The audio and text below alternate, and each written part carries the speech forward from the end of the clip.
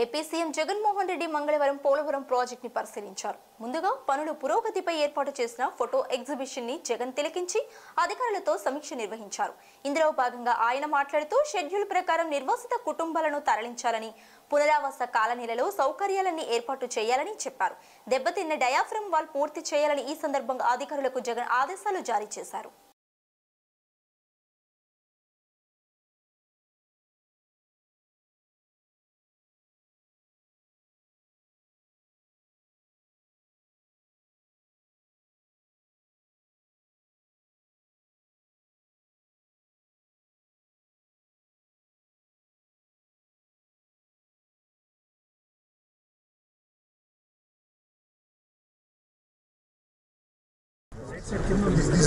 ఇది నేడు గ్యాపులు లేకుండా మనం చేస్తామని నేడు.